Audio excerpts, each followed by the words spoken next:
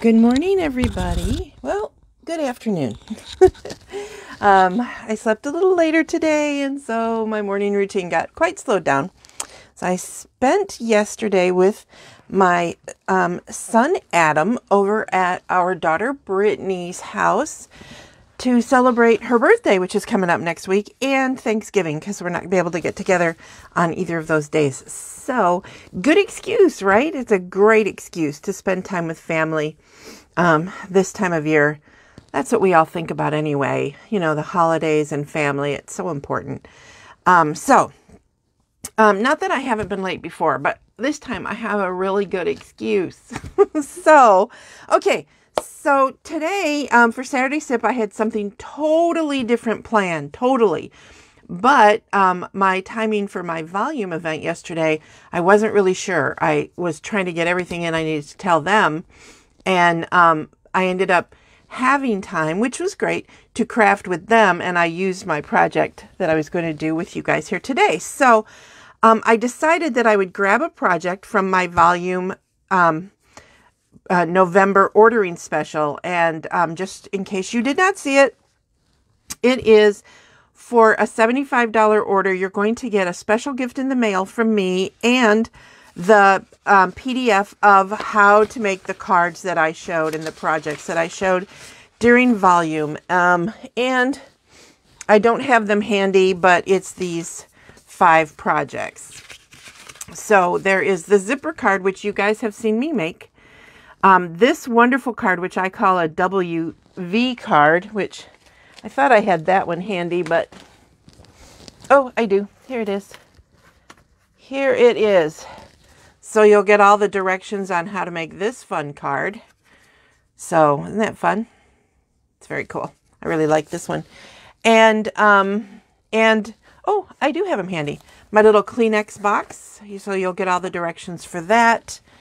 Um, you'll get everything for this. You're going to get the patterns for these two. Well, really for all of them. Um, so you'll have all of these. So there's five total.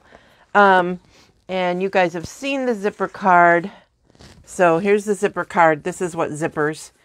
And uh, so that's what you'll get with a 75 order, $75 order this month, plus a special something in the mail from me as well. So now that I got that out of the way, let's talk about the project. Oh, guess not. I forgot I wanted to talk about this too. This is the time of year when it's gift giving and you don't necessarily know what to give. And with the way things are everywhere, not just, you know, with every company everywhere and in our grocery stores, things are on back order. So if you want to give your crafting friend a gift of stamping or crafting, you know, I do make gift certificates and I can do that for you in any denomination. Generally, they're from $25 and up. But if your budget is tight, talk to me. Hey, I'm willing. I mean, I can fill in the blank for really any amount. I've just always said 25 or more. So, okay. And this always comes with a nice gift card that I send to you so that you can give to them. So it's a nice handmade card too. So, okay. So that's out of the way. Sales out of the way, sort of. All right, so this is the card I thought I would show you. This is part of the projects that you will get the um, in the PDF. You will get the pattern on how to make this. So I'm going to show you now. Um, basically what it is, is you will take a piece of cardstock and you will cut it out into this shape. You're going to score in a couple of places. These are all in the PDF. You'll trim this so that when it closes, it's not in the way. And then you'll cut these half circle-ish parts out of where you've scored. Directions are all in that pattern. So you're going to start with this. And then you will need pieces of designer series paper. Okay. Any kind is going to do. I just happen to have this one ready. This, of course, is from our awesome Eden's Garden collection, which I have been kind of talking about all month. And as much as I love it, I'm ready to move on to something else. And you guys are like, yes, please. So, all right. So let me show you a little trick with this because this goes here and this goes here, but obviously there would be an issue. Not with this one so much, but with this one, most definitely, because this would look weird. You can't, it, it's just not going to work. So the way I did this was I kind of set this where I wanted it to go. You can use a temporary adhesive or you can just put like a dot of adhesive somewhere, just a tiny little bit to kind of hold it where you want it. And you want to make sure this flap is out of your way. So get it to where you want it to set on the card. Okay, and then you're going to open it up so that you can see the back side of the designer series paper. Grab a pencil and just mark it off. Okay, easy peasy, right? And you guys can figure it out that all you have to do is, oh, see now I got pencil lines on here. I got a little carried away, so I'm going to have to erase those. So then you're just going to trim. I like to trim on this side of the line so that, you know, you don't want the line in, in your card. Not that they can see it. This is the back side, but still. This gives you a slight edge away from the opening. That way you don't have to worry about it getting caught, hopefully.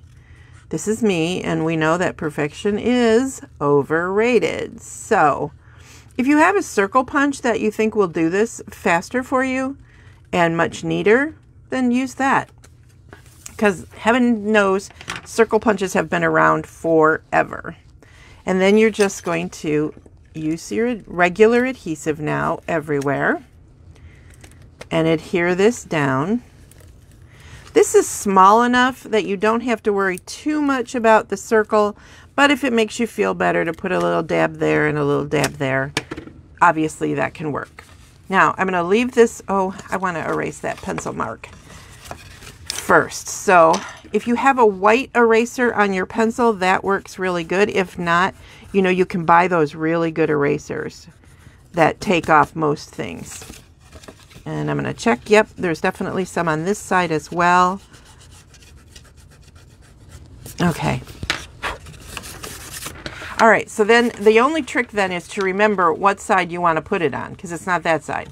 So kind of put your card back into place so you can see what you're doing. And then put this down on, whoop, carefully because that is this is not the super strong part of the glue or our adhesive, but it is still pretty strong. So hopefully I'm getting this correctly. There we go. So got some eraser stuff everywhere now. So there's that one. And then this one, this one you can decide you can, um, now see, I have it where enough of it is going over that I need to think about that. So again, I am going to put just a dab of adhesive on the back just to hold this piece in place where I think I want it to go. And you can see it's just a smidgen and it wouldn't really make a huge difference. So you could leave that, but I, I want to get rid of it. This one's going to be a little harder to see because it's dark on the back. So again, with the penciling, let's see if I can see this on camera. I can kind of see it. Um, it's a little bit harder. Again, um, if you have a circle punch that you think will work a little bit better, you can use that. And you're just going to take out that little smidgy. And I did not cut that very well, you know, but you know what I, how I feel about that kind of stuff. If you get a card for me you know, all it says when you aren't perfect is that it's a handmade card. And I don't know about you, but I've made multiples of the same card before. And none of them are ever perfect. Even when I use my stamp Stamparatus to do that, which is usually what I do when I'm making multiple cards, somewhere in the decorating of it, it ends up slightly different. Again with the pencil marks. So I must have really penciled hard on these because, holy Hannah, that's a lot of pencil mark.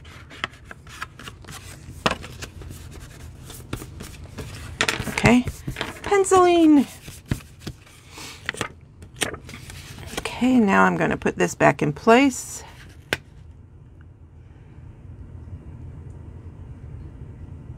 And voila.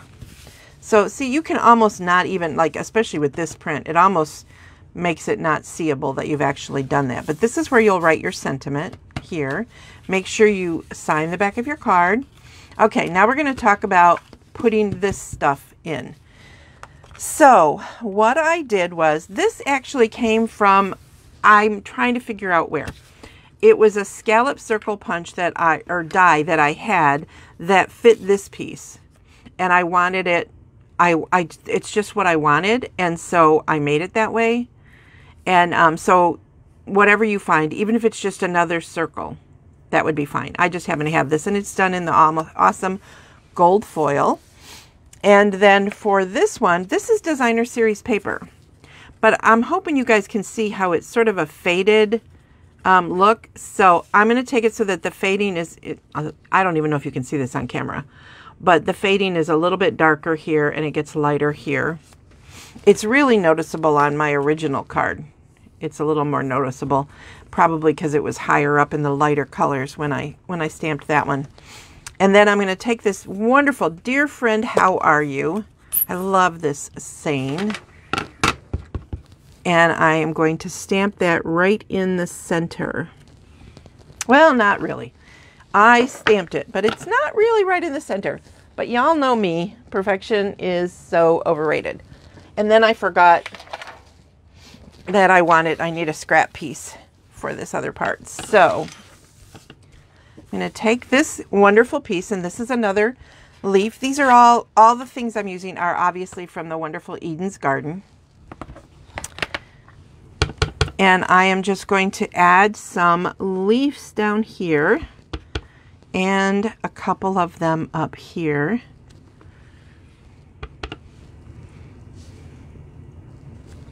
There you go, just to give it a little bit of a pretty. And that's that for this one. Now you can use this to stamp the sentiment on this piece if you want, but I'm going to show you what I did with that. So for here, this is the best part about a circle when you're doing a circle is if I had stamped that crooked, I could just keep turning the circle. Makes me very happy because you know that I tend to get things off center often. I move that out of the way for now. And where's my card? There it is. I'm going to take this and center that on this little half circle. Or, well, yeah, it is kind of a half a circle. So there you go. The front of my card is done. It's very pretty. And then for this side, this piece is going to go on right there. So I'm going to go ahead and adhere that down. And this is a lot smaller so you could actually, if you were doing circles, you could certainly do um, a little bit larger.